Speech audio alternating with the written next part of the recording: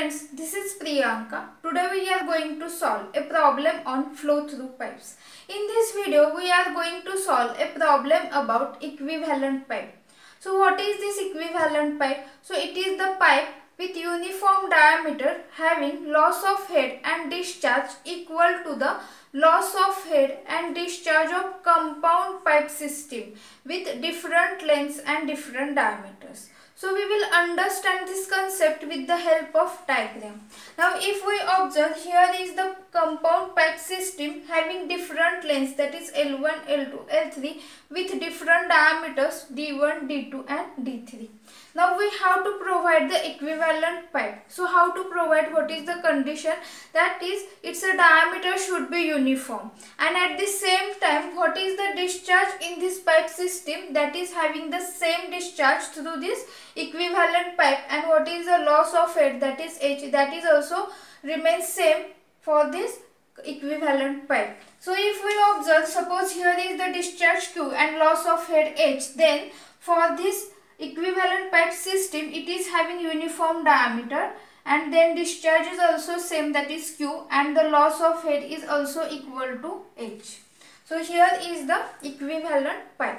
Now in this video we are going to find out what is the diameter of this equivalent pipe. So first I will read what is the given problem. Three pipes of lengths 800 meter, 500 meter and 400 meter and of diameters 500 millimeter, 400 millimeter and 300 millimeter respectively are connected in series. These pipes are to be replaced by a single pipe of length 1700 meter. Find the diameter of the single pipe. So this was the given question. Let us first understand the diagram as per given data. Now if we observe here the compound pipe system is given with length L1 800 meter diameter D1 0.5 meter then length L2 500 meter with diameter D2 0.4 meter and L3 400 meter and diameter D3 0.3 meter. Now for this compound pipe system equivalent pipe is provided. That means here the discharge through this compound pipe system will be same as the discharge through this equivalent pipe and the loss of head is also same. Now here if we observe we have to draw the equivalent pipe of uniform diameter and the length of this equivalent pipe is given that is 1700 meter. Now if we observe total addition of length that is L1, L2 plus L3 that is 800 plus 500 plus 400 is also equal to the length of this equivalent pipe. So we can say that L is equal to L1 plus L2 plus L3.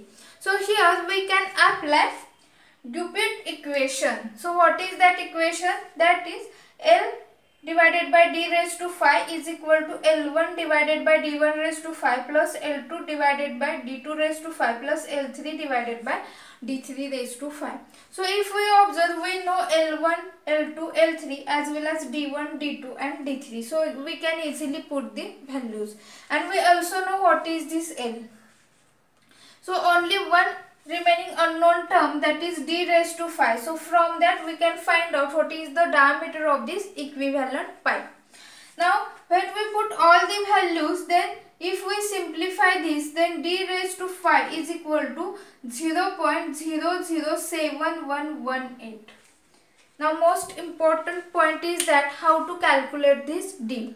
So here with the help of calculator if we observe this d raised to 5 that means when I divide on both sides by 5 then how I can write therefore d raised to 5 by 5 which is equal to 0 0.007118 raised to 1 by 5.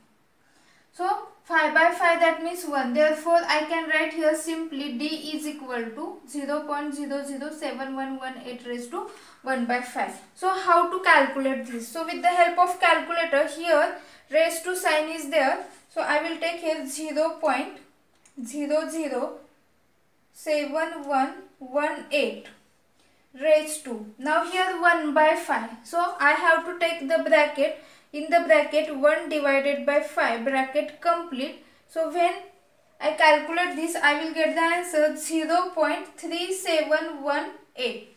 So now we have to write this. So what is the unit? So if I observe here this D1, D2 and D3 are taken that is in the standard unit in meter. So here we have to take here uh, the unit of this D is also in meter. Now again we can convert this into millimeter. So how to convert this? Multiplying with 10 raised to 3. So here 371.8 millimeter. So this is the answer.